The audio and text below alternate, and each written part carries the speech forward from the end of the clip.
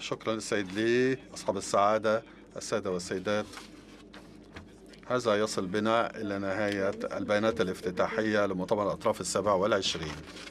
السادة الأعضاء أرجو البقاء في مقاعدكم سوف نستمر في اجتماع الجلسة العامة لاجتماع الأطراف السبع والعشرين وفي أعقابه آه، الاجتماع العام الأول اجتماع آه، مؤتمر الأطراف اجتماع الأطراف لبروتوكول كيوتو السابع عشر آه، في دورته السابعة عشر ومؤتمر الأطراف باعتباره اجتماع اتفاق باريس في دورته الرابعة. شكرا جزيلا.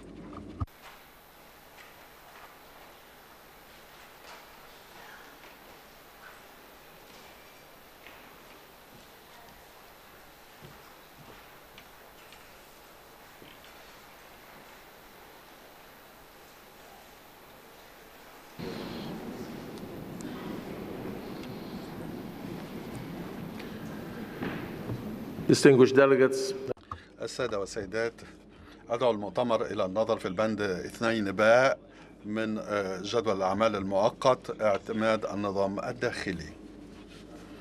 إن مشروع القواعد متضمنة في الوثيقة F triple C على CP على 1996 على 2 الأطراف قد تتذكر أن قواعد النظام الداخلي تطبق باستثناء آه، القاعدة الثانية والأربعين الخاصة بالتوسيط للافتقار لتوافق الآراء. وكان ذلك منذ أول انعقاد أول دورة آه، لمؤتمر الأطراف آه، في 1995 في مؤتمر الأطراف السادس والعشرين عقد الرئيس مشاورات ولم يتحقق أي توافق في الآراء حول الموضوع واقترح أن تتم مشاورات خلال مؤتمر الأطراف السبع والعشرين. وأدعو الأطراف أن نستمر في تطبيق قواعد النظام الداخلي باستثناء مشروع القاعدة الثانية والأربعين. من قواعد النظام الداخلي وأقترح من كبار الأطراف أن يعقدوا مشاورات حول هذا الموضوع.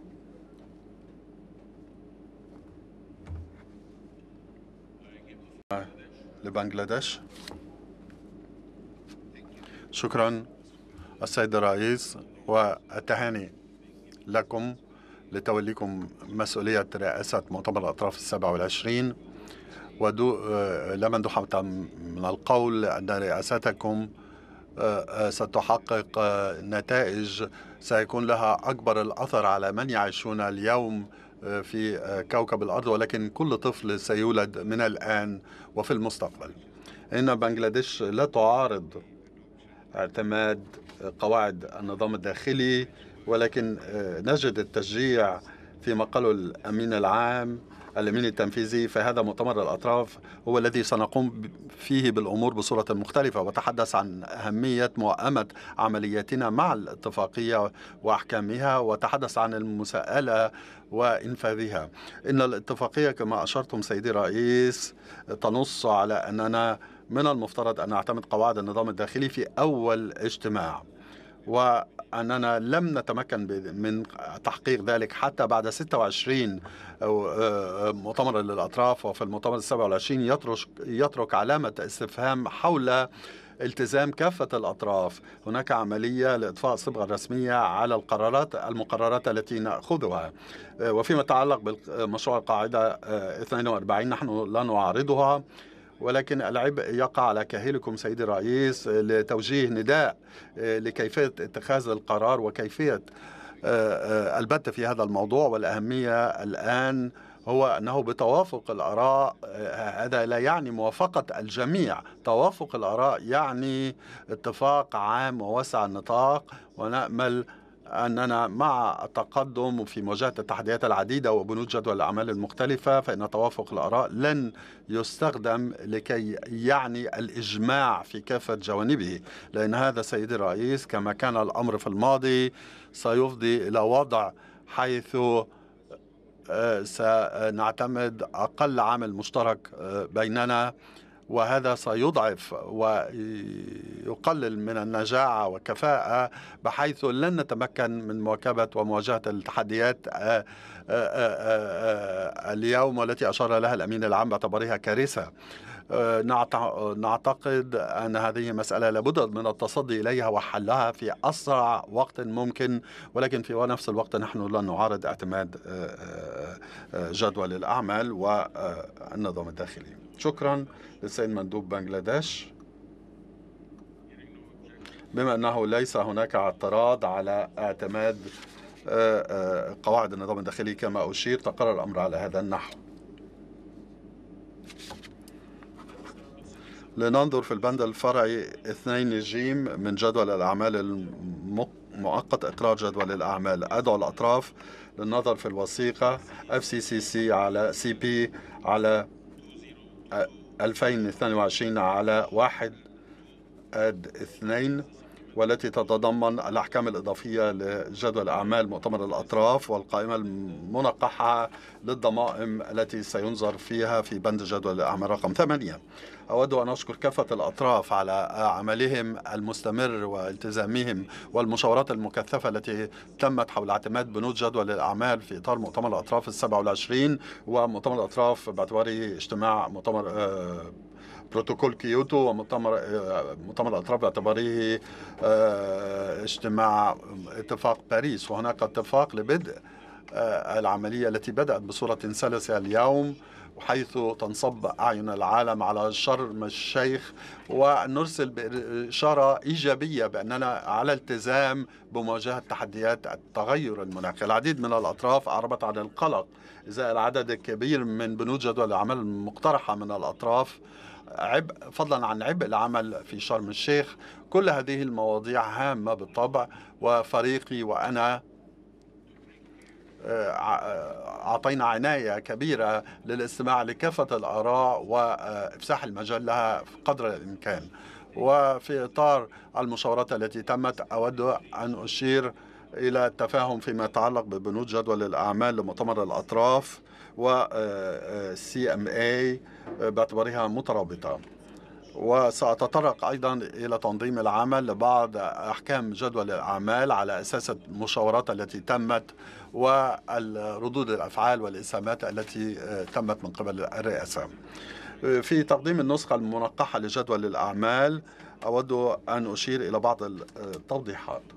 حول المقترح من مجموعة 77 والصين لإدراج بند في جدول أعمال مؤتمر الأطراف واجتماع الأطراف اجتماع اجتماع مؤتمر باريس فيما يتعلق بالخسارة والضرر واقتراح أن هذا البند أن ينقح على الوجه التالي مسائل ترتبط بتمويل الترتيبات للاستجابة للخسارة والضرر المرتبط بالآثار المناوئة للتغير المناخي بما في ذلك التركيز على التصدي للخسارة والضرر.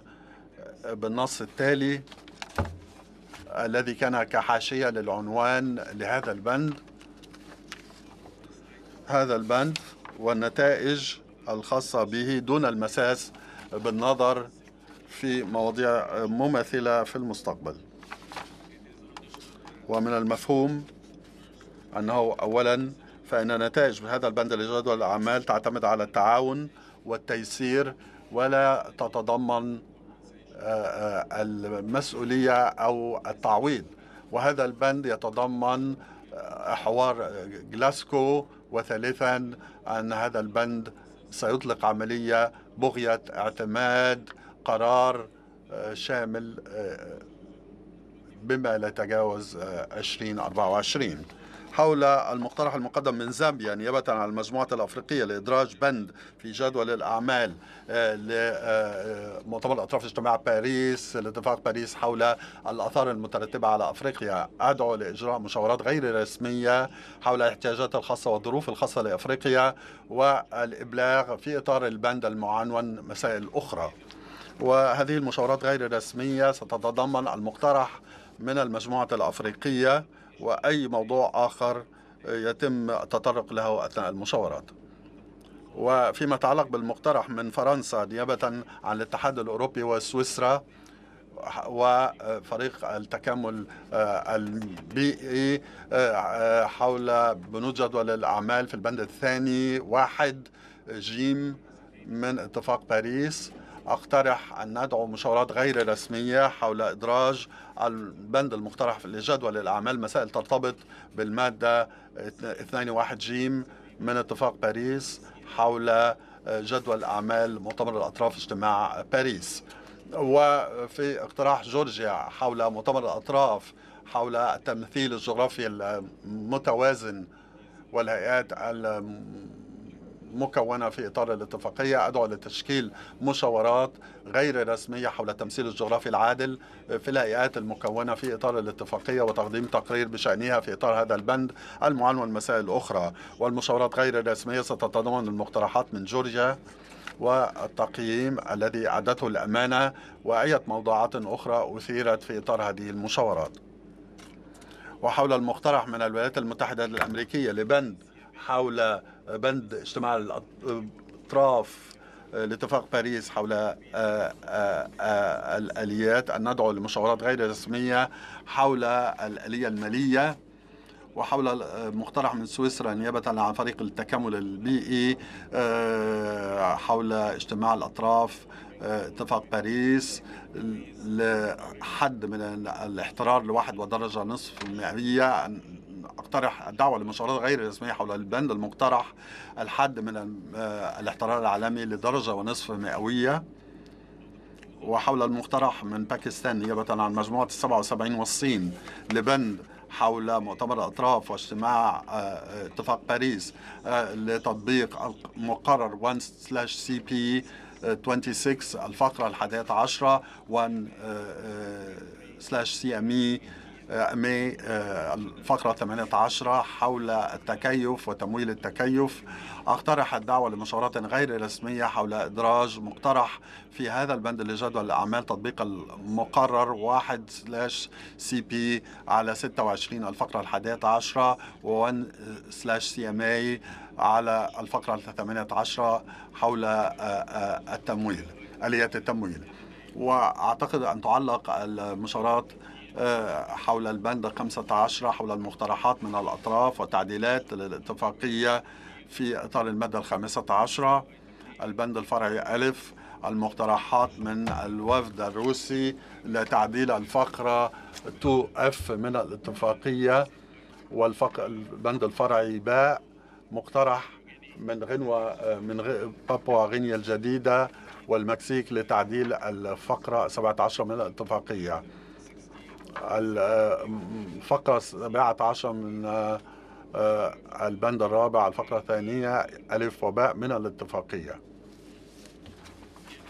السادة الوفود بهذا وبالامتنان الكبير للمرونة التي أبدتها الوفود. بما يسمح ببدء العمل أقترح آه، أن البنود الإضافية كما هي متضمنة في الوثيقة FCCC على CP على 2022 على واحد على الضميمة الثانية أن تعتمد.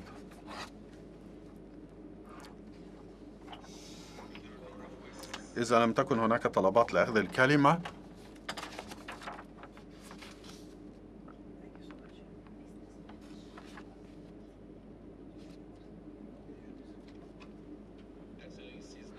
أصحاب السعادة سيدتي وسادتي إذا لم تكن هناك طلبات لأخذ الكلمة وليست هناك من معارضة يكون الأمر قد تقرر على هذا الأمر على هذا النحو.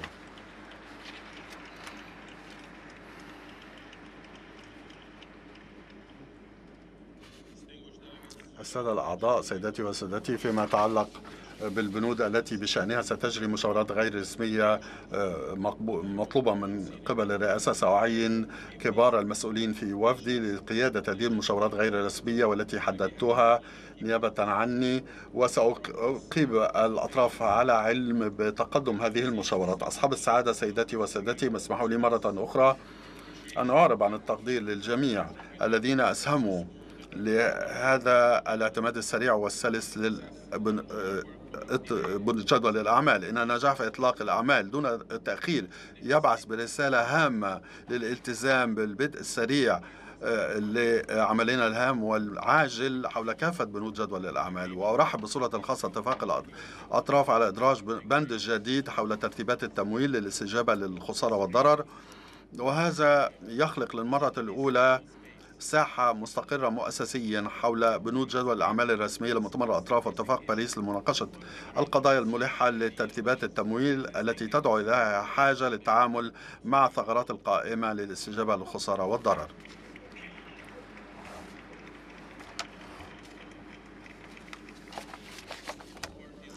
كافة الأطراف قد أسهمت في صياغة هذا التوافق في الآراء حول جدول الأعمال من خلال تواصلها البناء والمرن عبر 48 ساعة من المشاورات المستمرة التي قادتها رئاسة مؤتمر الأطراف السبع والعشرين والتي كانت ذروة عام من العمل المستمر من قبل الرئاسة. وفي هذه المرحلة أود أن أعرب عن التقدير العميق ل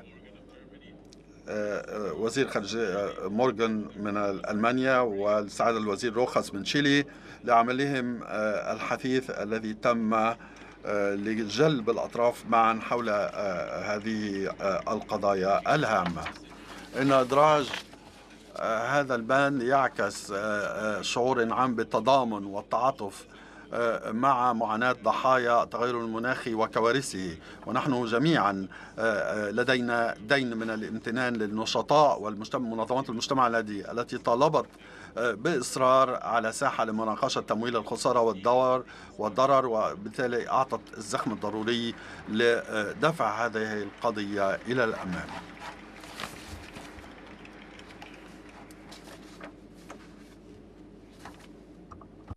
The conference is now in أدعو المؤتمر الآن إلى دراسة البند اثنان دال من جدول الأعمال انتخاب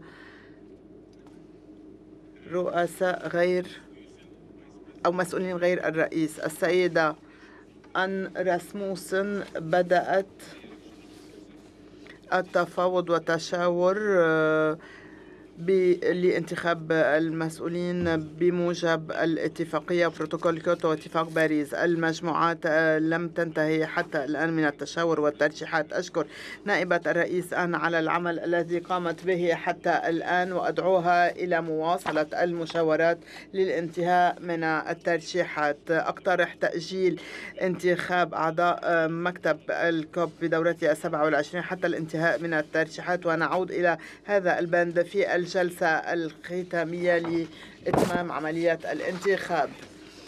بموجب على ما جرت عليه العادة المرشحين للمكتب سيدعون إلى حضور اجتماعات المكتب بصفة مراقبين خلال المؤتمر حتى حصول عملية الانتخاب. الأطراف ستشير أو ستلاحظ أن تسعة من أصل 132 ترشيحا يجب أن تصلنا كما أن النساء يشكلن 38% فقط من عضوية الاتفاقية وبروتوكول كيوتو واتفاق باريس. أحث الأطراف الأطراف إلى ترشيح النساء والرجال بنسبة متساوية حتى نتمكن من تحقيق المساواة بين الجنسين. أدعو الأطراف إلى تكثيف الجهود للانتهاء من عمليات الترشيحات حتى ترفع إلينا بحلول الثامن مساء من يوم السبت الواقع في الثاني عشر من تشرين ثاني نوفمبر. إن لم يكن هناك من اعتراض تقرر الأمر على هذا النحو.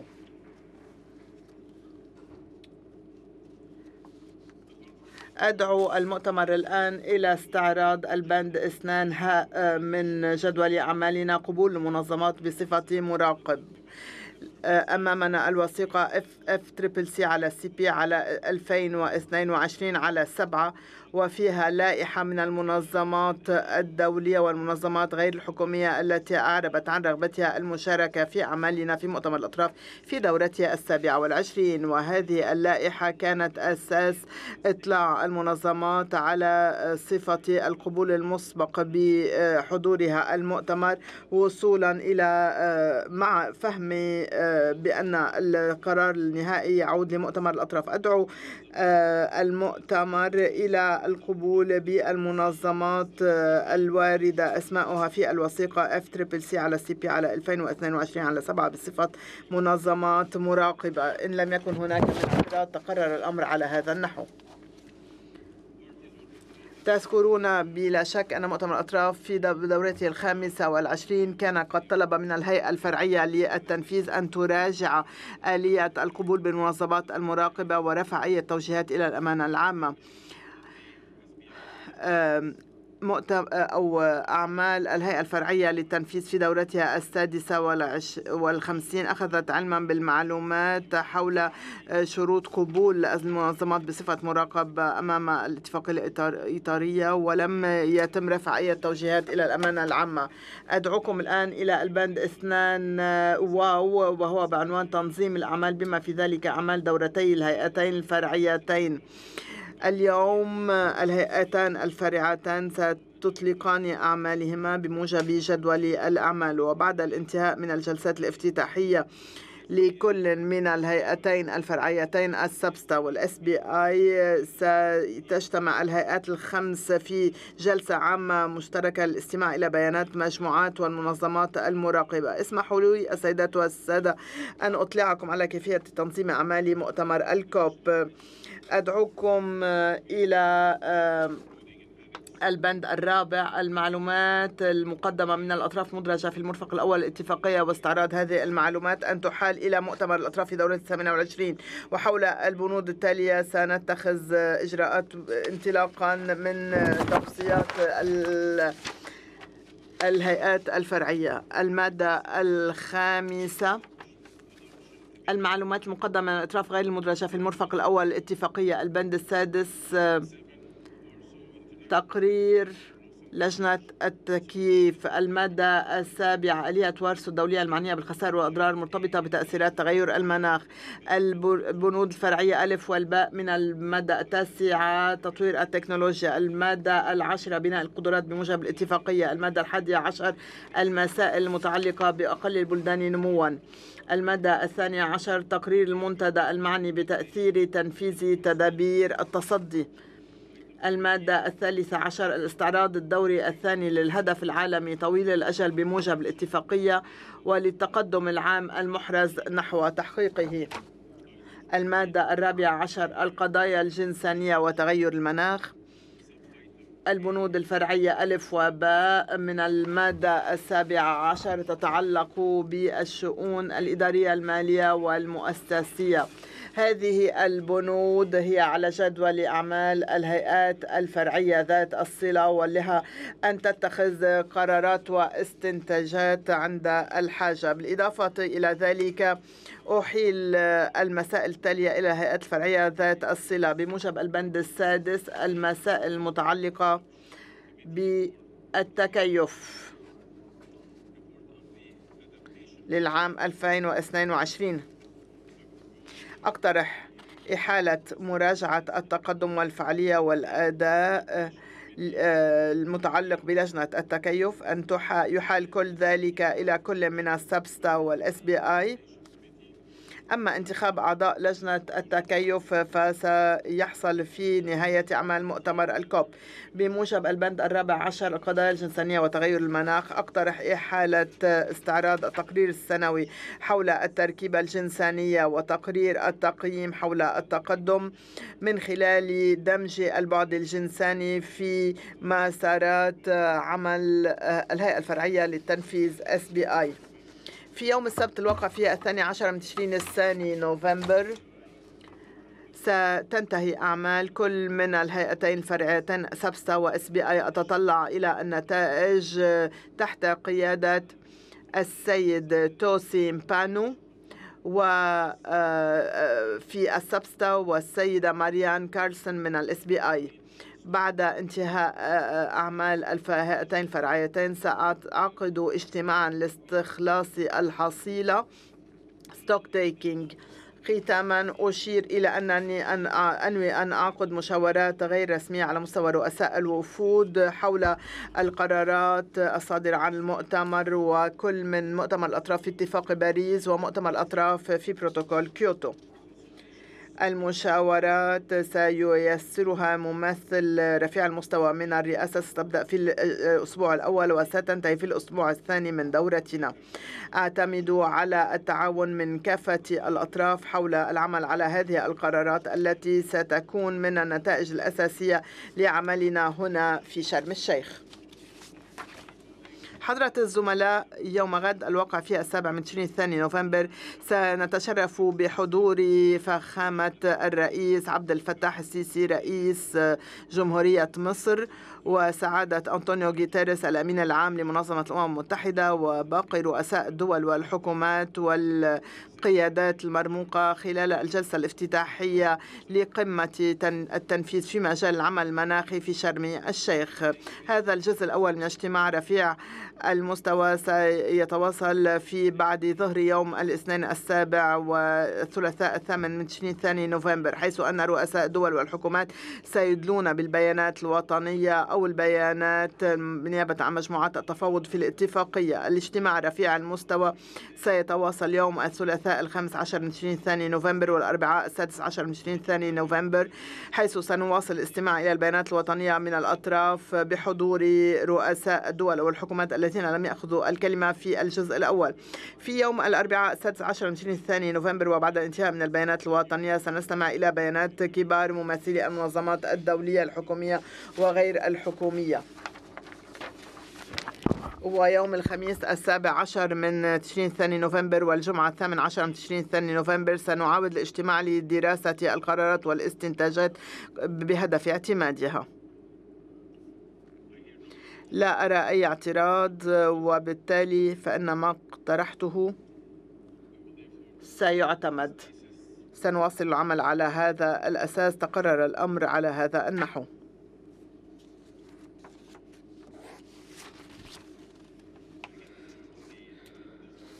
أعطي الكلمة لدولة الإمارات العربية المتحدة.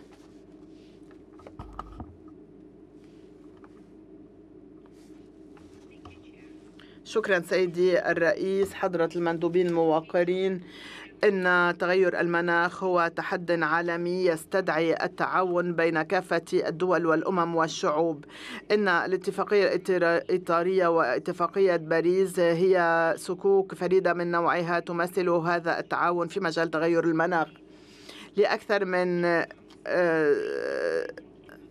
سنة رأينا أوكرانيا تواجه حربا غير مسبوقة. من قبل روسيا. عدوان من قبل روسيا على أوكرانيا. هذا الحرب هذه الحرب هي حرب ضد أوكرانيا كأمة وشعب واقتصاد وحتى هوية أوكرانيا. وهذا سيكون لديه آثار ليس فقط على أوكرانيا ولكن على القارة الأوروبية والعالم أجمع. فالخسائر في الأرواح وتدمير البناء التحتية والضرر البيئي والعدوان والتهديد بالعدوان النووي وكلها خطوات إرهابية من قبل روسيا. الاحتلال غير القانوني لأراضٍ أوكرانية إنما يقوض مصداقية البيانات المرفوعة إلى الاتفاقية ال UCC أوكرانيا رفعت مشاغلها إلى الاتفاقية حول البيانات والتقارير وشددت على الحاجة إلى الشفافية والدقة. في مؤتمركم البند الرابع نحن نرحب باقتراح الرئيس إحالة هذا البند إلى الدورة المقبلة.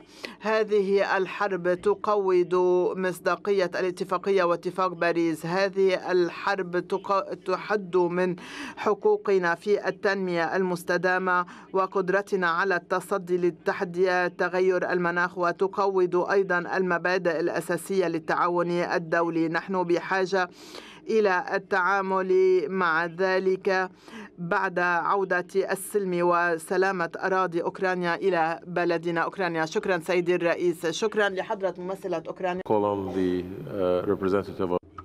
شكرا. أعطي الكلمة الآن لبيلاروسيا.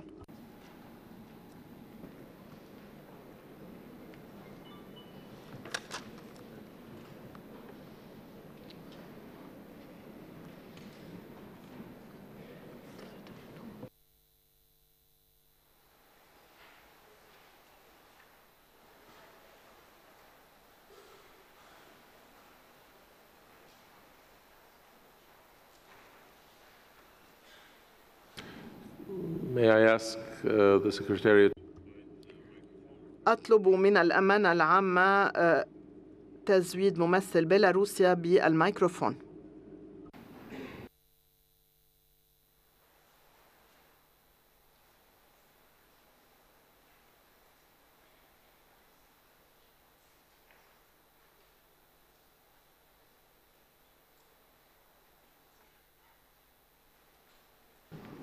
Does Belarus want to take the floor? هل ترغب بيلاروسيا بأخذ الكلمة؟ يسأل الرئيس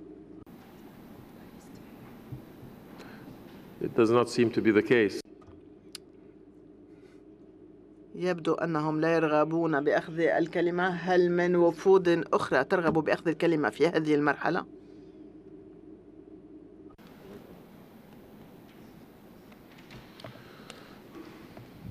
Since there seems to be none, يبدو أنه ليس من طلبات للكلمة. أعطي الكلمة الآن للبند أو أتطرق الآن إلى البند. اثنان زين مواعيد وأماكن انعقاد الدورات المقبلة.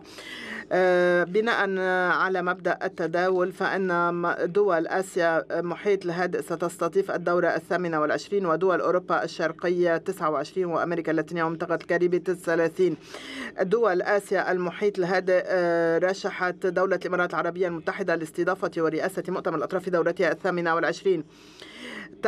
تحديد الدولة المضيفة في مرحلة مبكرة يحد من المخاطر اللوجستية والمالية وبالتالي أشجع دول أوروبا الشرقية وأمريكا اللاتينية إلى تسريع المشاورات واقتراح دولة مضيفة لدورتي المؤتمر في الدورتين 29 و 30 في أسرع وقت ممكن. كما أن المؤتمر مدعو للتوافق على دورات فترات الدورات للعام 2025 التي ستوصي بها الهيئة الفرعية للتنفيذ.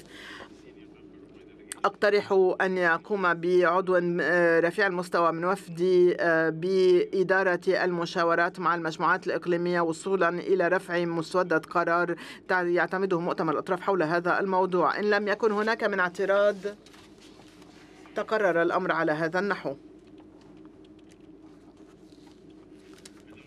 أدعو المؤتمر الآن إلى استعراض البند السابع بعنوان آلية وارسو الدولية المعنية بالخسائر والأضرار المرتبطة بتأثيرات تغير المناخ.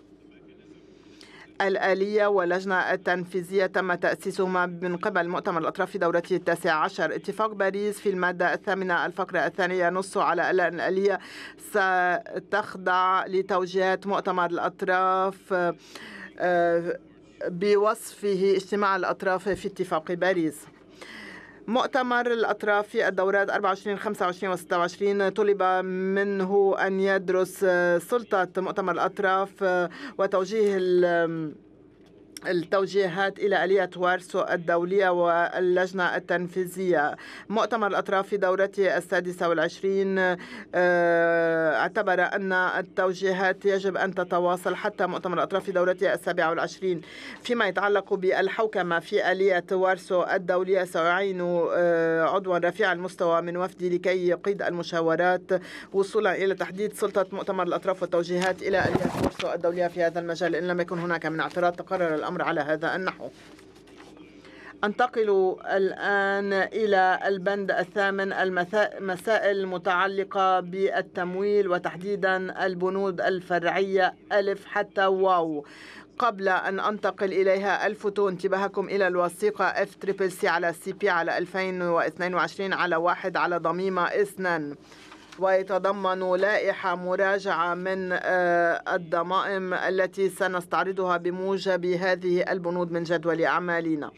بالنسبة إلى البند ثمانية ألف التمويل المناخي طويل الأجل فإن مؤتمر الأطراف في دورته السادسة والعشرين طلب من اللجنة الدائمة للتمويل أن تعد تقريرا في العام 2022 حول التقدم المحرز وصولا إلى حشد مبلغ 100 مليار دولار أمريكي سنويا للتعامل مع احتياجات الدول النامية في سياق خطوات التخفيف والشفافية على مستوى التنفيذ مع مراعاة خطة تنفيذ تمويل المناخ وغيرها من التقارير. مؤتمر الأطراف في دورته السادسة والعشرين أيضا طلب من لجنة التمويل الدائمة أن تواصل عملها حول تعريف تمويل المناخ وبذل مزيد من الجهود حول مسح المعلومات المتاحة بموجب المادة الثانية الفقرة واحد جيم من اتفاق باريس بما في ذلك الإشارة إلى المادة التاسعة.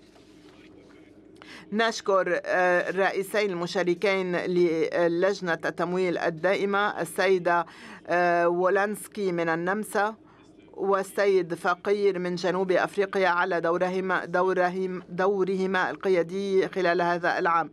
أدعوكم إلى استعراض تقرير حول التقدم وصولا إلى حشد مبلغ 100 مليار دولار سنويا بشكل مشترك.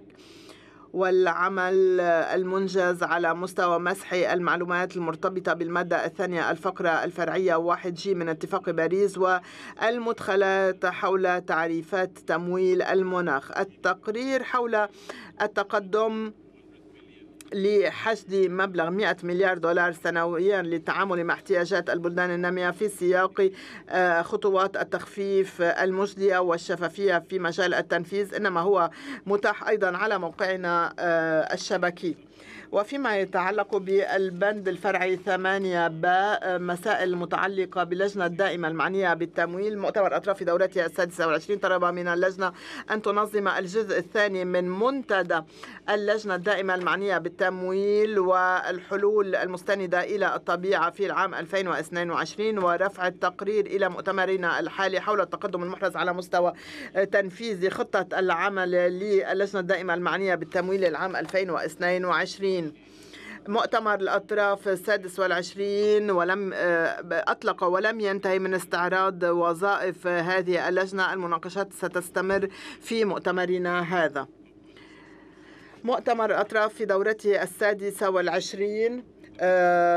طلب من هذه اللجنة أن تواصل عملها على مستوى تعريفات آه، التمويل في مجال المناخ ومسح المعلومات المتاحة بموجب المادة الثانية الفقرة واحد جيم من اتفاق باريس بما في ذلك الإشارة إلى المادة التاسعة.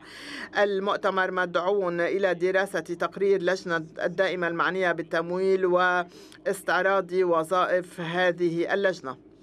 فيما يتعلق بالبند 8 جيم تقرير الصندوق الأخضر للمناخ المقدم إلى مؤتمر الأطراف والإرشادات الموجهة إلى الصندوق الأخضر للمناخ. فإن المؤتمر مدعو إلى رفع التوجيهات حول السياسات والبرامج والأولويات ومعايير المقبولية. مع مراعاة التالي التقرير السنوي لهذا الصندوق. مشروع المبادئ التوجيهية ل آه، آه، المقترح على الميسرين المشاركين للجنة الدائمة وتحليل التقديمات التي قدمت حول آه، مشروع الإرشادات الموضحة في تقرير اللجنة الدائمة للتمويل 2022 والتقرير السنوي حول عمل سجل نامة. أود أن أشكر السيد جون دونليير من فرنسا و السيد رامارو من أفريقيا من جنوب أفريقيا على قيادتهما المشتركة لمجلس صندوق المناخ الأخضر ولأعضاء المجلس على عملهم الدؤوب. بالنسبة لبند جدول العمل الفرعي 8 دال تقرير المرفق العالمي للبيئة إلى مؤتمر الأطراف فمؤتمر الأطراف سيدعى لتقديم الإرشاد إلى صندوق إلى مرفق البيئة العالمي حول السياسات والبرامج والأولويات ومعايير ال معايير المقبولية حول للنظر فيها. وكذلك ستقدم مشروع توجيهات لل الآلية المالية المقترحة من الميسرين المشاركين. وكذلك التقرير التقرير السنوي لعمليات سجل نامة. أشكر رئيس المرفق العالمي للبيئة السيد كارلوس رودريغيز والأمانة على العمل الذي جرى في مرفق البيئة العالمي. بالنسبة لبنك جرى العمل الفرعي ثمانية ها الاستعراض السابع للآلية المالية. يدعى مؤتمر الأطراف للاتفاق على المبادئ التوجيهية والاستعراض السابع لها.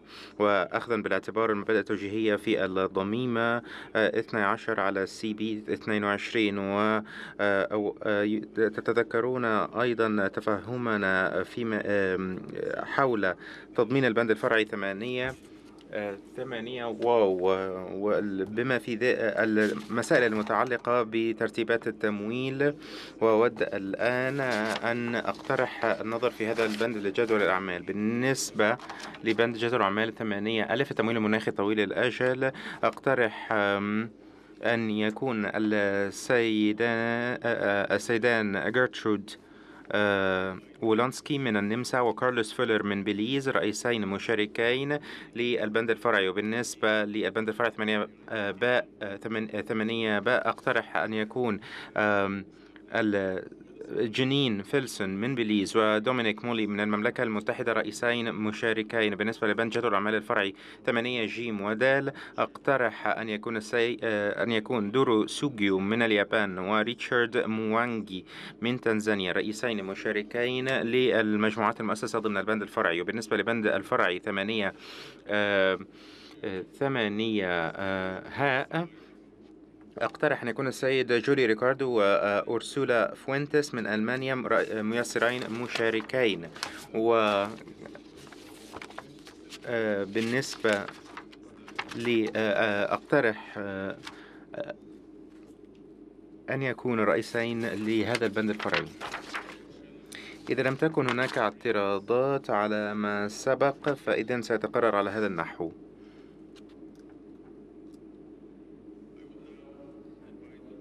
الآن أدعو مؤتمر الأطراف أن ينظر في بند جدول الأعمال 17 المسائل الإدارية. في مؤتمر الأطراف السادس والعشرين لم تتمكن الأطراف من اختتام نظرها في هذا الشأن وفقا للقاعدة 10 جيم وستة عشر من مشروع قواعد الإجرائية فإن هذه المسألة قد ضمنت في في جدول الأعمال المؤقت لمؤتمر الأطراف السابع والعشرين.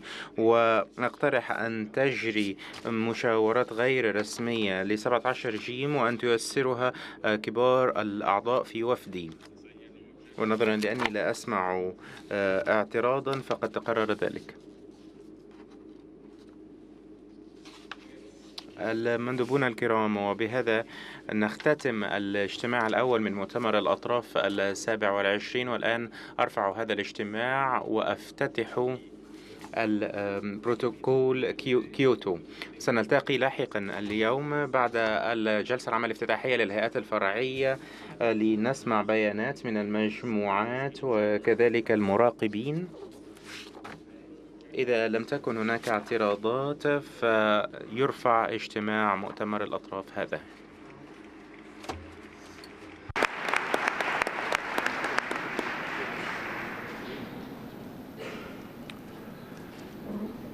Distinguished delegate. المندوبون الموقرون أعلن افتتاح الدورة السابعة عشر لمؤتمر الأطراف بوصفه اجتماع الأطراف في في بروتوكول كيوتو نواصل الآن بالنظر في بند جدول الأعمال اثنين المسائل التنظيمية. أدعو المؤتمر للنظر في بند جد بند الفرع اثنين ألف من من جدول الأعمال المؤقت اعتماد جدول الأعمال. وأقترح أن يعتمد جدول الأعمال الوارد في الوثيقة F triple C على KP على CMP على 2022 على واحد. وإذا لم تكن هناك اعتراضات فيتقرر ذلك.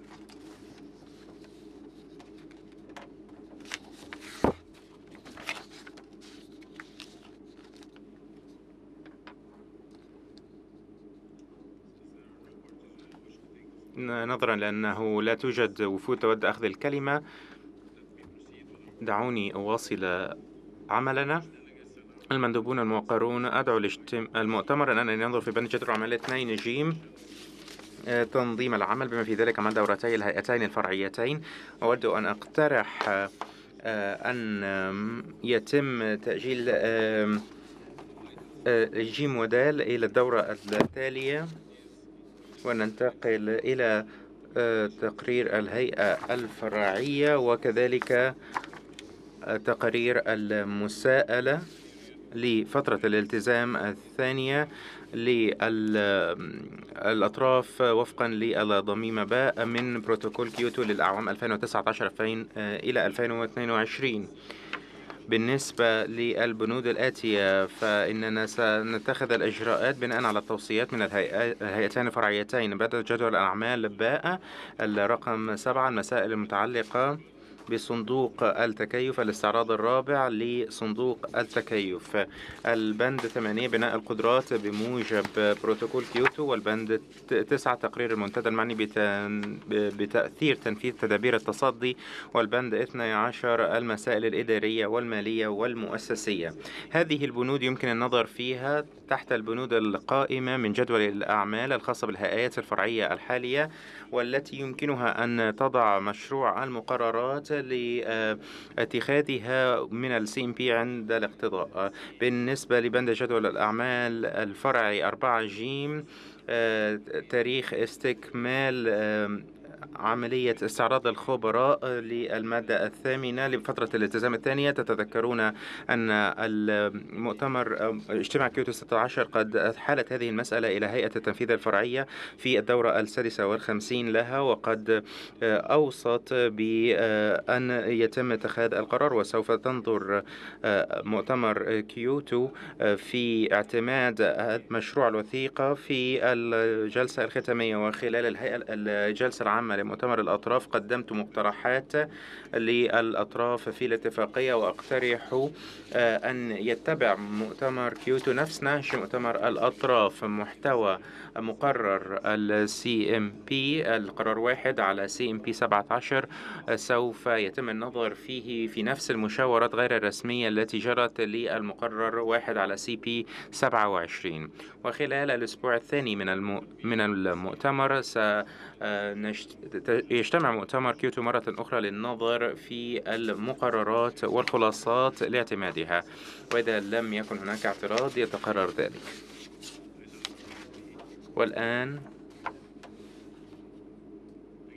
أعطي الكلمة لممثل ممثلة أوكرانيا الموقرة. شكرا سيد الرئيس المندوبون الموقرون. تغير المناخ هو تحد عالمي يتطلب تفانيا وتعاونا بين البلدان والدول والشعوب وأعمال الاتفاقية المتحدة لتغير المناخ. هي منصة للتعاون الدولي في تغير المناخ لأكثر من ثمانية أعوام وخلال السنوات أو خلال الأشهر الثامنة تقاتل أوكرانيا في حرب غير مسبوقة. إذ نصد عدوانا أو حربا واسع نطاق أطلقتها روسيا الإرهابية ضد روسيا. روسيا وهذه الحرب غير الأخلاقية تضرب في قلب أوروبا وهي حرب ضد الاقتصاد والشعب الأوكراني وحتى على سلامة أراضي أوكرانيا. هذه الحرب بالفعل. لها تأثيرات لا يمكن تداركها ليس فقط بالنسبة لأوكرانيا ولكن لأوروبا بأكملها وللعالم بأسره. والاحتلال المؤقت غير قانوني للأراضي الأوكرانية يقوض موثوقية بيانات التقارير وكذلك عمل مف... الاتفاقية المتحدة للطريقة غير المناخ تؤكد أوكرانيا على قلقها حيال موثوقية البيانات التي تستخدم في تقارير ال... الاتفاقية المتحدة للطريقة لتغير المناخ وتؤكد على الحاجة لمعالجة هذه المسألة على وجه الأولوية. وأيضا بالنسبة للبند جدول الأعمال أربعة البنود الفرعية ألف وباء ترحب أوكرانيا بمقترحات الرئيس آه، أن آه، ترجع النظر في هذه البنود إلى الجلسة إلى الجلسة القادمة. شكرا سيد الرئيس. أشكر ممثلة أوكرانيا الموقرة.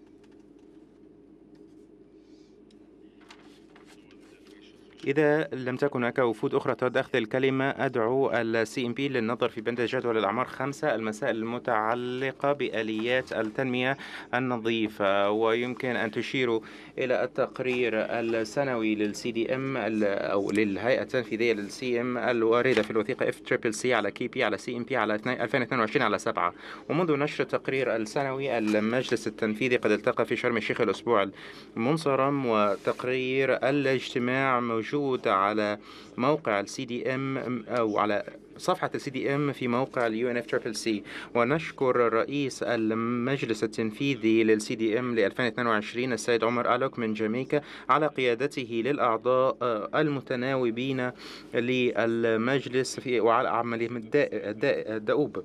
وأود أن أقترح أن تكون هناك مجموعة اتصال تترأسها بالمشاركة كازوزي كاتاسو من اليابان وأليك موفونديكا من زامبيا. إذا لم تكن هناك اعتراضات يتقرر ذلك.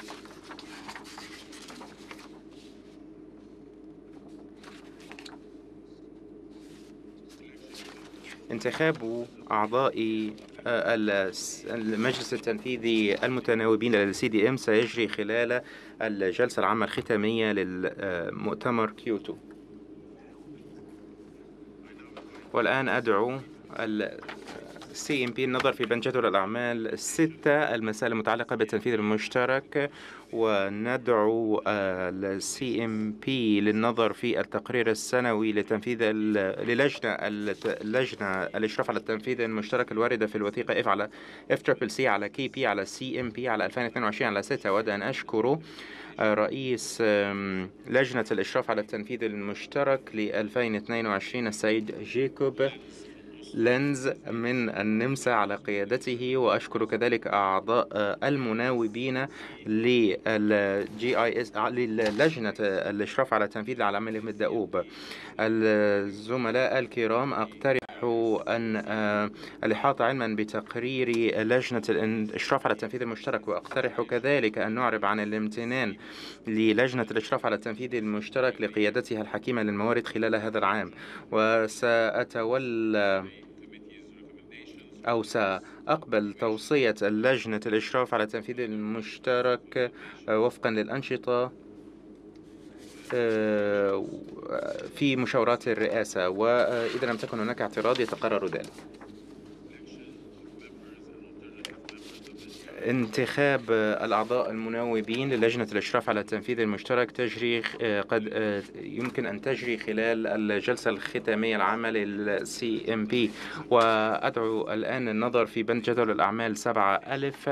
المسائل المتعلقة بصندوق التكيف تقرير مجلس صندوق التكيف. يمكن للأطراف أن تنظر في التقرير السنوي الوارد في الوثيقة F triple C على KP على CMP على 2022 على على 4 F triple C على PA على CMA على 2022 على ثلاثة. وضميمة هذا التقرير. أود أن أشكر رئيس مجلس صندوق التكيف البراء توفيق من المملكة العربية السعودية وأعضاء الصندوق. وأن يتم النظر في آه، هذا البند تحت إشراف آه، إيفا شرويدر من هولندا وديان بلاك لين من أنتيغوا وبر وبربودا وإذا لم تكن هناك اعتراضات أعطي الكلمة للكونغو الديمقراطية. شكرا سيدي الرئيس. أولا آه، أهنئكم على توليكم رئاسة المؤتمر وكذلك أهنئ جمهورية مصر العربية على التنظيم الرائع لمؤتمر الأطراف السابع والعشرين. ولا يفوتني أن أقول نيابة عن جمهورية الكونغو الديمقراطية إننا ممتنون للغاية على استضافة بلد أفريقي لمؤتمر الأطراف 27 وأودت أن أخذ الكلمة للحديث عن البند السابع. من من صندوق خاص صندوق التكيف كما تعلم سيدي الرئيس كل العمل الذي جرى لمعالجة تحديات المناخ والاحترار العالمي أظهر هذا العمل أنه علينا أن نحرص على التمويل الأخضر وزيادته للبلدان النامية لأننا لسنا ضحايا فحسب بل إننا نسهم في النضال ضد تغير المناخ. ولذا فإن صندوق التكيف ينبغي ألا يكون مجرد مجال للحديث فحسب. لذا نود أن ننظر في هذا الصندوق. وكذلك أن نجري الحوارات مع الدول الصناعية المتقدمة. نريد أن نخرج من مؤتمر الأطراف السابع والعشرين بنتائج ملموسة وموثوقة ويمكن التحقق منها ومؤشرات واضحة لصندوق التكيف. لنعرف ماذا ما كان عليه صندوق التكيف قبل آه، آه، مؤتمر الأطراف السابع والعشرين وبعده ونعمل على هذا الأساس. وكعضو من مجموعة الإسهامات المحددة وطنيا نريد أن نرى فرقا واضحا بين صندوق التكيف وبين صندوق الضرر والخسائر. Loss and damage لأنه نرى آه، أهمية العمل على صندوق التكيف بشكل كبير. على المستوى القصير والمتوسط والبعيد لنحرص على أن تتمكن البلدان من التكيف مع تغيرات المناخ. لم يعد هناك حاجة إلى الحديث فحسب بل إننا بحاجة إلى نتائج ملموسة. بالنسبة لصندوق التكيف مرة أخرى أختتم بأن أقول أنه ينبغي أن توجه آه، موارده إلى الأبحاث العلمية بحيث تتوفر معلومات واضحة حول مستوى الخسائر والضرر التي تتكبدها البلدان وكذلك حول القدرات المتاحة والتأثيرات كذلك على الغابات وعلى المعادن والموارد الأخرى آه، بحيث آه، أن نبقي على الاحترار العالمي تحت الواحد فاصل درجة مئوية. إذا نحن بحاجة إلى هذه المعلومات الموثوقة من علمائنا بحيث نتمكن من إحداث شراكة تأتي بالنفع للجميع. صحيح أن الاقتصادات المتقدمة والصناعية بدأت أن تعطي المنح ولكنهم بحاجة إلينا. هم المسؤولون عن 80% من التلوث حول العالم ونحن من نحاول أن نستجيب لهذه التأثيرات من خلال ما يمكننا. آه، بالنسبة هذا بالنسبة للبند السابع الخاص بصندوق التكيف. شكرا. I uh, thank I thank the distinguished uh, representative of the أشكر السيدة ممثلة جمهورية الكونغو الديمقراطية ونشكرهم على استضافة ما فعاليات ما قبل مؤتمر الأطراف مما يسهم في العمل الذي نقوم به حاليا في إطار مؤتمر الأطراف. ليس هناك طلبات أخرى لأخذ الكلمة عند هذا الحد.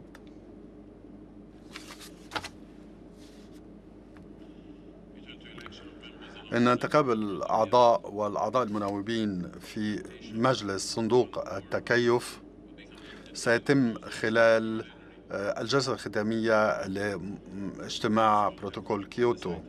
وأول اجتماع اتصال حول هذا البند سيعقد اليوم في الساعة الخامسة والنصف في القاعة MR 16 نرجو الاطلاع على آه، شاشات الشبكة شبكة التلفزيون المغلقة للبرنامج اليومي وآخر المعلومات. أدعوكم للنظر في البند العاشر من بند جدول الأعمال تقرير لجنة الامتثال. الأطراف ربما تود الاطلاع على تقرير لجنة الامتثال المتضمن في الوثيقة FCCC على KP على CMP على 2022 على 2 وأود أن أشكر رؤساء اللجنة السيد كونيكو شيمادا السيد بوليت السيدة بوليت باينو السيدة ليزا بنجمنت والسيدة كاروليدا أنتونينا لقيادتهم والأعضاء والأعضاء المناوبين لعملهم الشاق.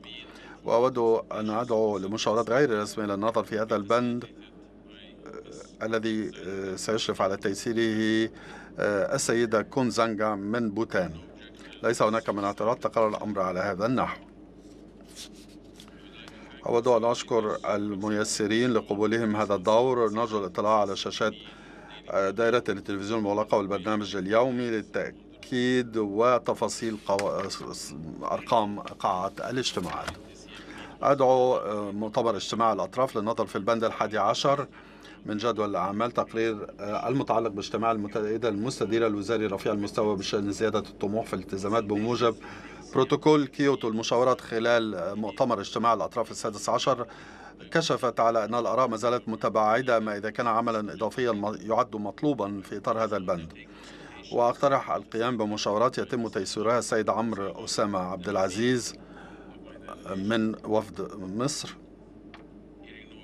وبما أنه ليس هناك من اعتراض تقرر الأمر على هذا النحو. سيداتي سادتي سادة أعضاء الوفود هذا يصل بنا إلى نهاية أول اجتماع لمؤتمر اجتماع بروتوكول كيوتو. أود أن أرفع هذه الجلسة وأن أفتتح اجتماع مؤتمر اجتماع الأطراف لاجتماع باريس. وسوف نجتمع في وقت لاحق من اليوم للجلسات العامة للهيئات الفرعية والاستماع لبيانات من مجموعات الأطراف ومن الأطراف ومن المراقبين. اجتماع مؤتمر اجتماع بروتوكول كيوتو الآن قد انتهت. رفعت هذه الجلسة. Distinguished delegates, I now declare open the fourth session of the Conference of the Parties serving as the أفتتح الآن اجتماع اجتماع الأطراف بروتوكول مؤتمر اتفاق باريس. الآن سننظر في البند الثاني من جدول الأعمال انتخاب إقرار جدول الأعمال. أدعو إلى النظر في الوثيقة CMA على 2022 على واحد على الضميمة الرابعة. الذي يتضمن الجدول المؤقت. وبالفهم الذي أشرت إليه لمؤتمر الأطراف أقترح أن جدول الأعمال كما هم في الوثيقة سي على اي على اي على 2021 على واحد الضميمة الرابعة أن يتم اعتماده. بما أن هناك ليس هناك من اعتراض تقرر الأمر على هذا النحو.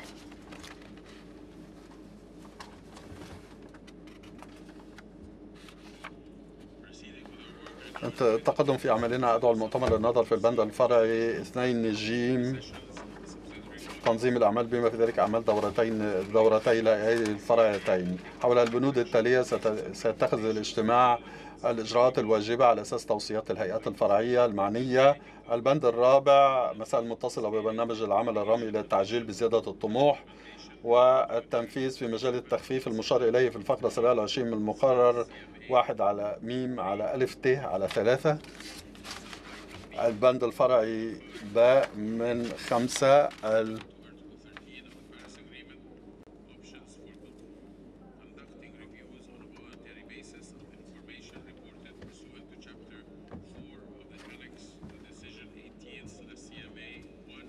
خيارات إجراء استعراضات على أساس طوعية للمعلومات المولوة. عملا بالفصل الرابع مرفق بالمقرر 18 ميم ألف ت واحد والدورات التدريبية ذات الصلة اللازمة لتيسير هذه الاستعراضات الطوعية.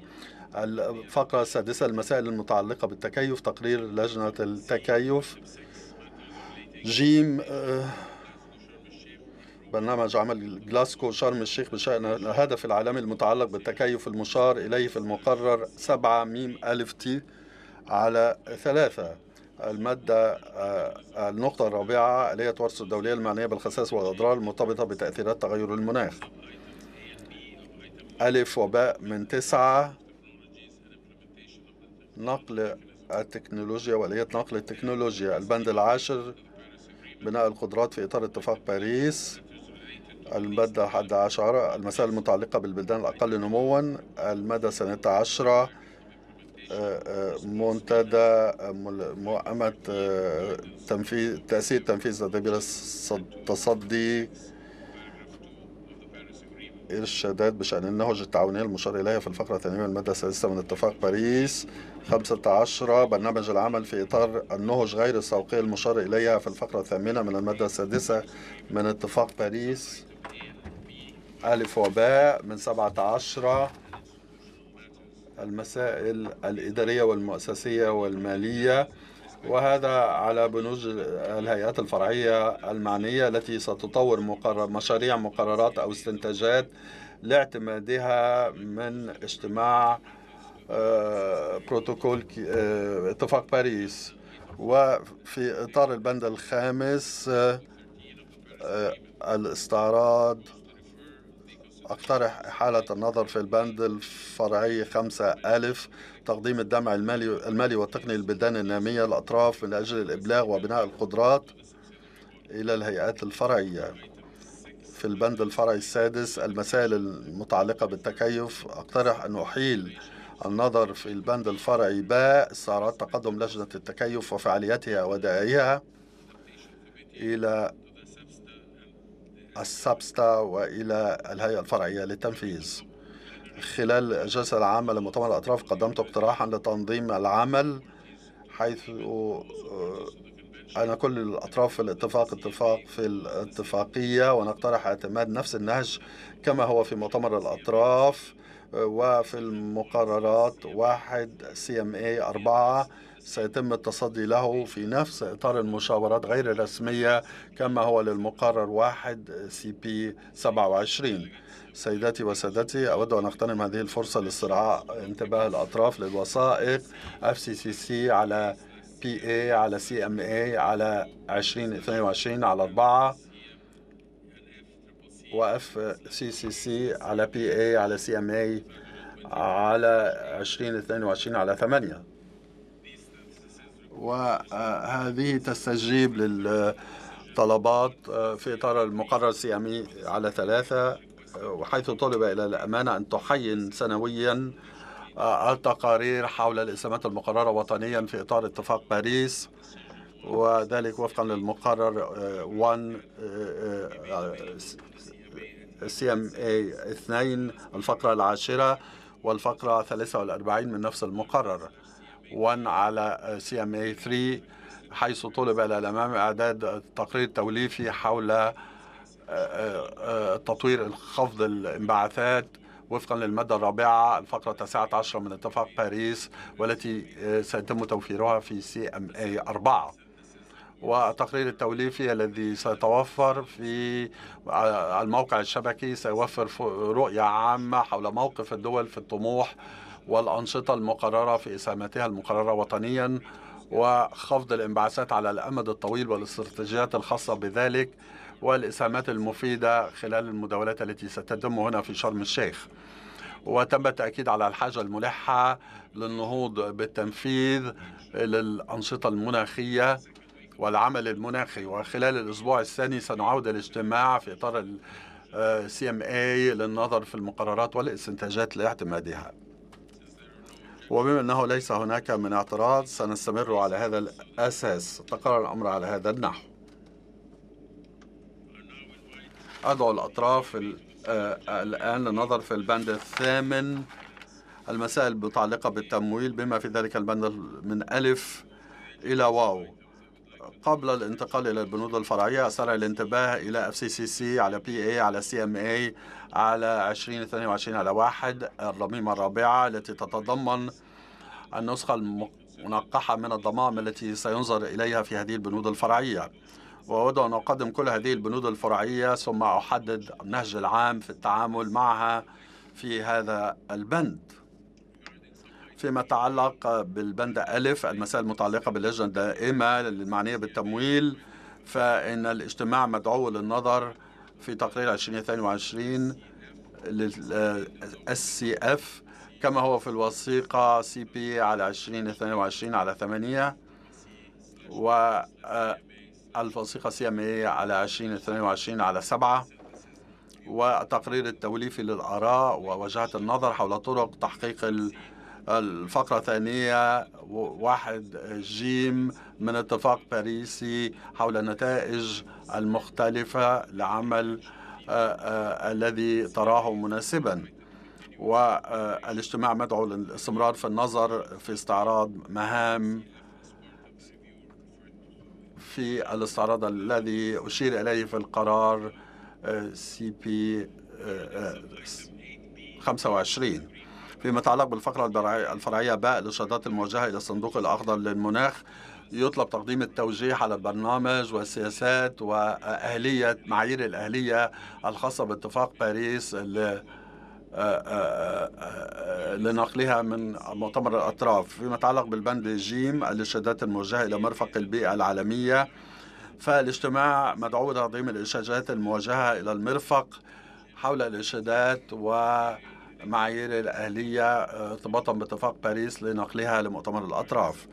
فيما يتعلق بالفقرة الفرعية د المسائل المتعلقة بصندوق التكيف فالاجتماع مدعو لاتخاذ كل ما يراه ملائما فيما يتعلق بصندوق التكيف والنتائج للتقارير الخاصة بالصندوق كما هو في القرار أربعة على سي وبي الفقرة السابعة.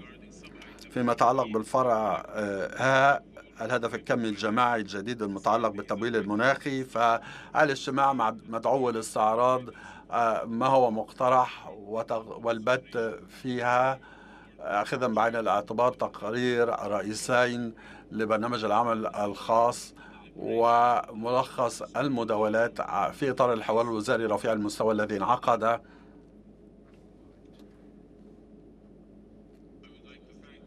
أود أن أشكر فريدريكا فريكانو من إيطاليا وكيشان كومرسينج من ترينيداد وتوباغو لقيادتهم كرئيسين للبرنامج الخاص والعمل الذي تم عبر السنوات.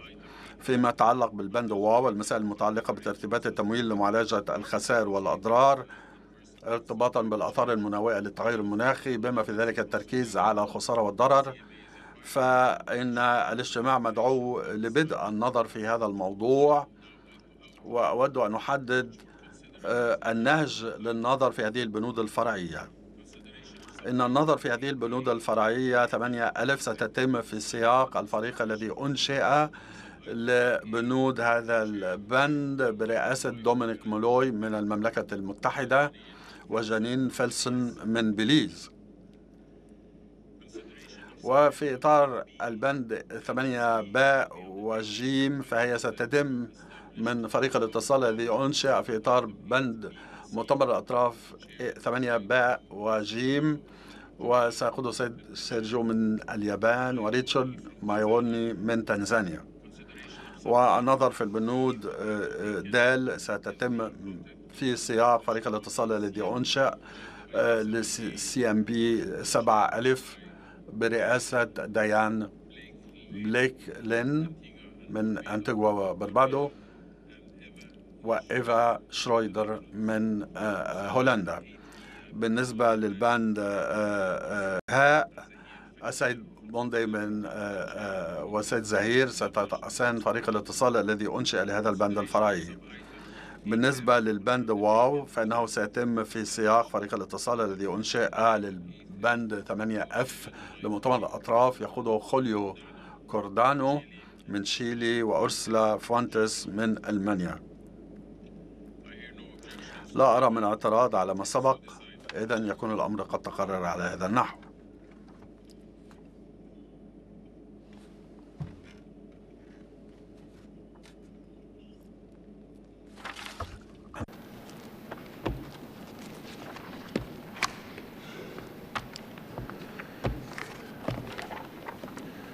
The first contact group for فريق الاتصال حول 8 دال سيعقد اليوم في الساعة الخامسة 45 دقيقة مساء في أمر 16 نرجو الاطلاع على شاشات التلفزيون والنشرة اليومية لآخر المعلومات حول الجدول. وأدعو المؤتمر في النظر في البند الرابع عشر.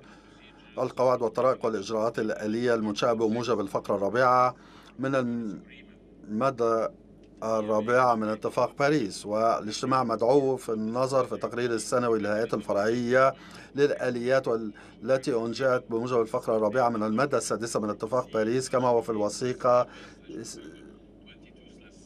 الوثيقة رقم ستة. ومنذ نشر التقرير السنوي فإن الهيئة الاستشارية اجتمعت هنا في شرم الشيخ وعملت في وقت متأخر من ليل الأمس لإكمال العمل الذي أنيطت به للسي إم اي 4 وهذا مرفق بالتقرير السنوي وسيتم تعميمه على الأطراف في الوقت المناسب. وأود أن أشكر الرئيس ونائب الرئيس للهيئة الاستشارية ل 2022 كريستين فاي وبيترو دوبروفنيك لقيادتهما والأعضاء والأعضاء المناوبين لهذه الهيئة للعمل الحثيث الذي قاموا به في هذا الصدد. وفضلا عن في هذا البند فإن الاجتماع سينظر آه، آه، استنتاجات ال SBSI حول استنتاجات آه، التي تم التوصل إليها.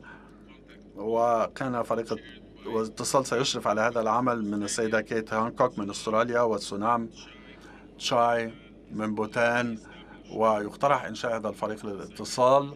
وبما أنه ليس هناك من اعتراض تقرر الأمر على هذا النحو. أدعو الاجتماع للنظر في البند 16 تقرير اللجنة المعنية بتيسير التنفيذ وتعزيز الامتثال إليها في الفقرة الثانية من المادة الخامسة عشر من اتفاق باريس. يمكن الإحالة إلى لجنة الامتثال والتنفيذ في الوثيقة CMA 2022 على 2 وأود أن أشكر كريستين بيورج وحسيب جوهر رئيسي فريق الاتصال لعملهم والأعضاء والأعضاء المناوبين لعملهم. واقترح إنشاء فريق اتصال للنظر في هذا البند الذي سيترأسه جونزانج من بوتان وألان رايدل من ألمانيا. وبما أنه ليس هناك من اعتراض تقرر الأمر على هذا النحو. الآن أود أن أشكر الرئيسين لقبول هذه المهمة وأدعوكم للاطلاع على شاشات التلفزيون والنشر اليومي للتفاصيل أول اجتماع لهذا الفريق للاتصال. انتخاب الرؤساء الأعضاء والأعضاء المنوبين سيتم في الجلسة الختامية لمؤتمر اجتماع أطراف اتفاق باريس. هذا يصل بنا إلى نهاية أول اجتماع لمؤتمر اجتماع اتفاق باريس وسنجتمع في وقت لاحق بعد الجلسة العامة للهيئات الفرعية لجلسة مشتركة للهيئات المختلفة للاستماع لبيانات من مجموعات الأطراف والأطراف والمراقبين. أيرلندا تطلب الكلمة.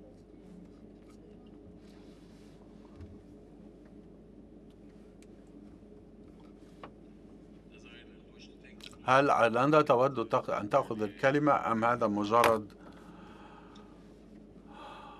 خطأ فني؟ يبدو أن طلب الكلمة كان خطأ فنيا. بما أنه ليس من أطراف تود أخذ الكلمة عند هذا الحد أعلن اختتام هذا الاجتماع. رفعت الجلسة.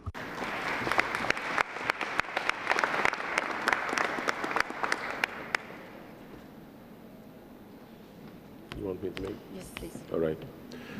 Uh, As a point of information,